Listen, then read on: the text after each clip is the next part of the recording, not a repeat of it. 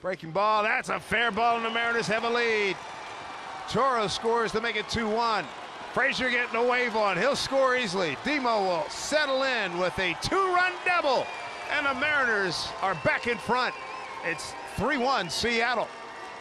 Demo with a big knock right there. RBI's 13 and 14 on his third double of the season.